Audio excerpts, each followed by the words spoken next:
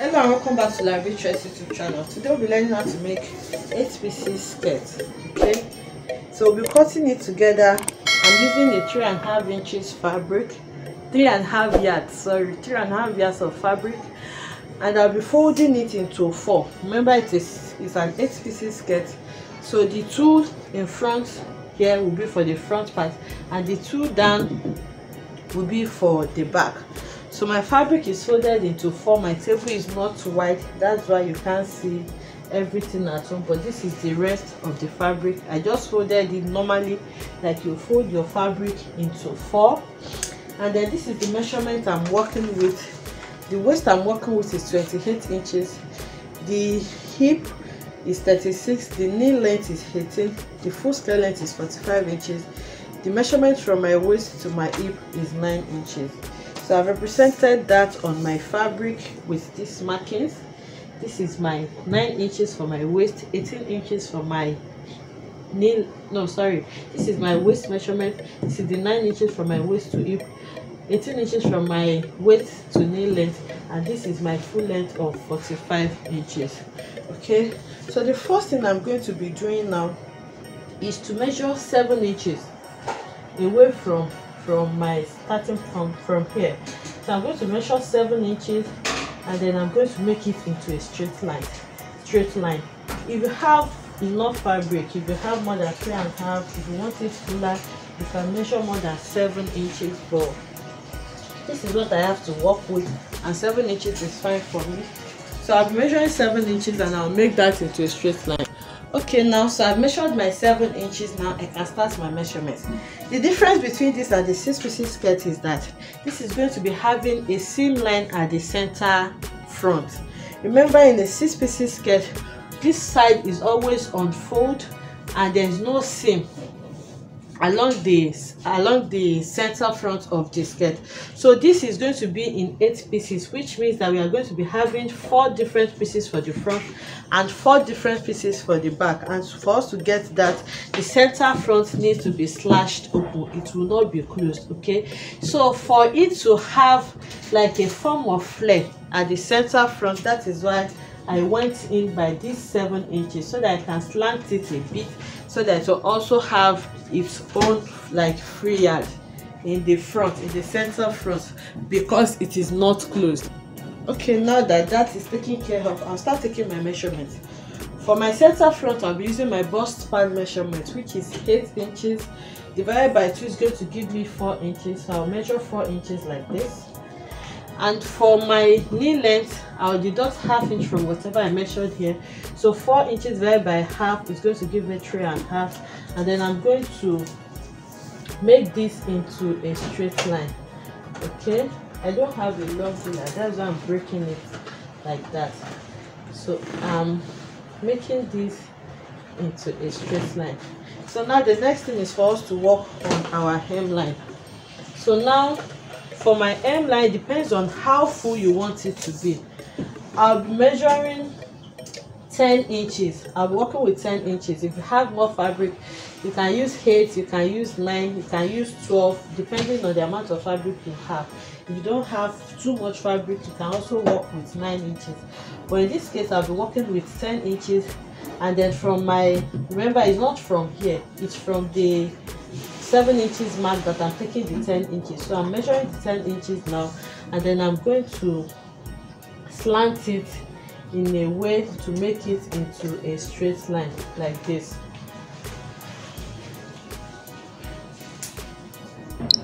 Okay so i've slanted it like this.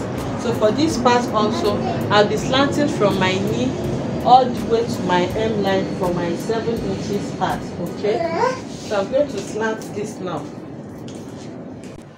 So i've slanted the seven inches part also now. So i'm going to cut it out. But to cut it i'm going to carefully lift up the first part. Remember this the center back is going to be having an allowance. A zipper allowance?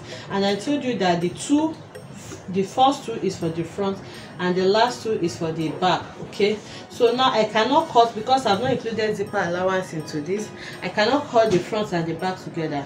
And the way i i i folded it this is the opened part so that i can i'll be able to lift it up. That was why i made sure that i started my from my measurement from this end point. So i'm going to lift this up now and then i'm going to cut off the center front two the two center front leaving the center back.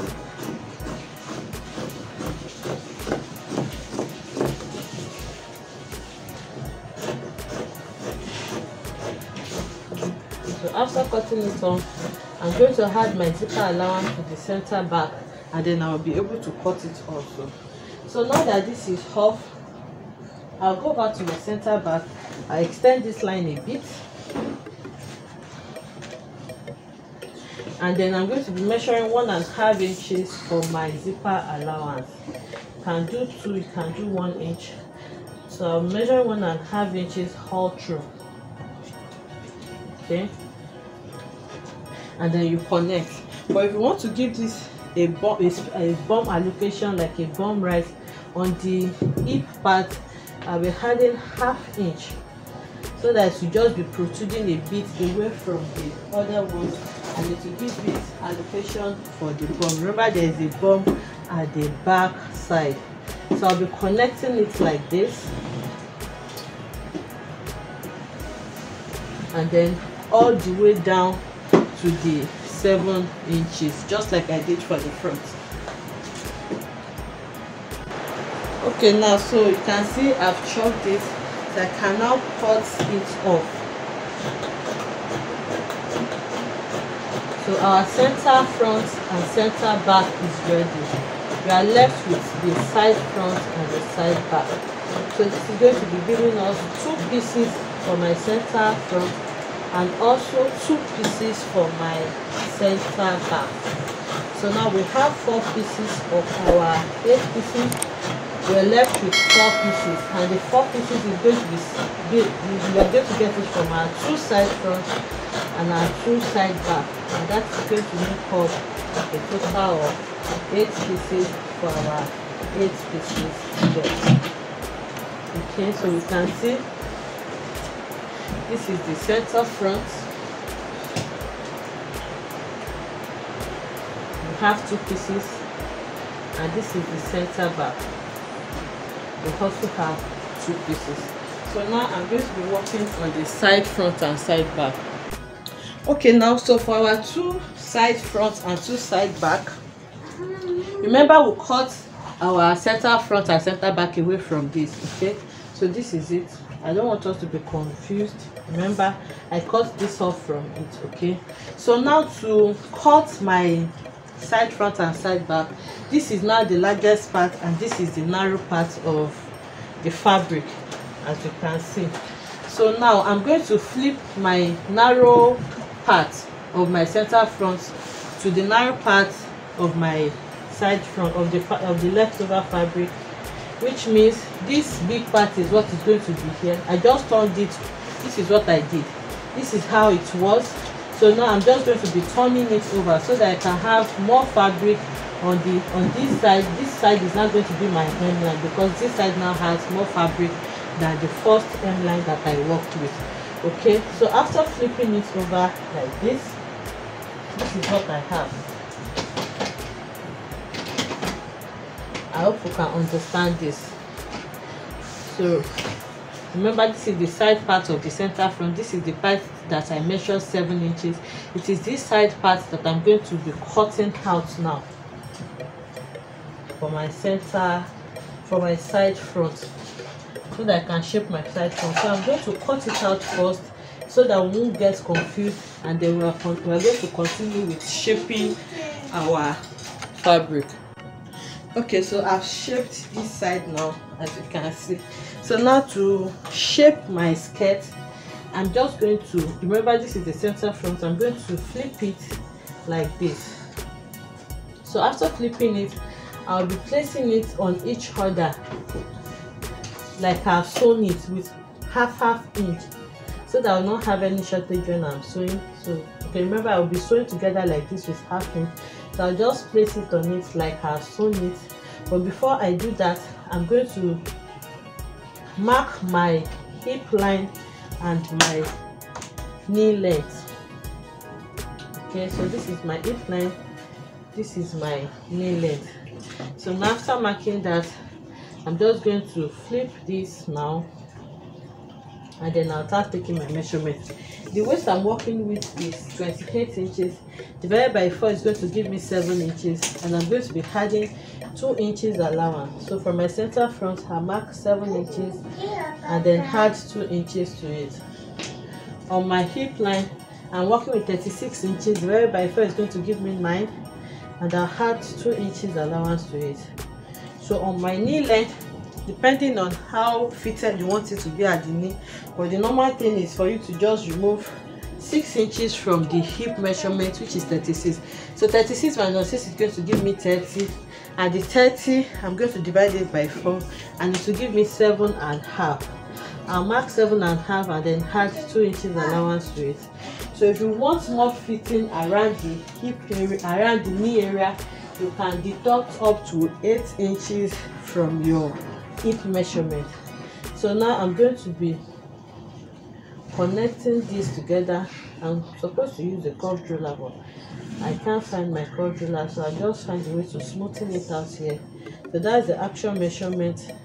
And this is the two inches allowance that i added. Okay so my sides have been shaped now. The next thing is for me to connect from this my knee length all the way to the hem line like this. So i just break it because my long ruler is not here. So i can use this small ruler to connect it now. So like i said i use three and a half yards of fabric for this eight pieces skirt so if you have more you can.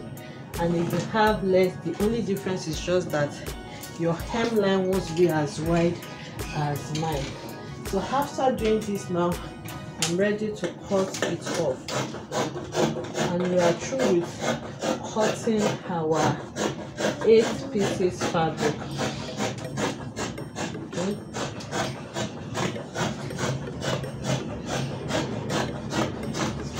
So now we have four cuts together. So this is one two for the front and one two for the back. Remember when i folded into four i told us that the first two is for the front and the last two is for the back. So now if you want to shape the hemline it's possible on this sharp part. You just need to go up by maybe two or three inches. Let's say i'm going up by two and a half inches. And using a curved ruler i'm going to smoothen it out with a smooth curve i can't find my curved ruler. I'm just going to illustrate this. Okay so i have my curved ruler now. I'm just going to smoothen it like this so that it won't be too sharp and then i can shape this out. So we have our two, four sides both front and back and these are my two side back. Okay this is the side back. This is the second side back. And these are my two side front. So that is how you cut your eight pieces skirt you can see that it's very simple to make. Give this a try and feed us back on whatever challenges you may have thank you for supporting our channel so far. We appreciate your support. Kindly subscribe if you haven't subscribed to our channel and click on the notification bell so that you get notified anytime we upload a new video. See you in the next one. Bye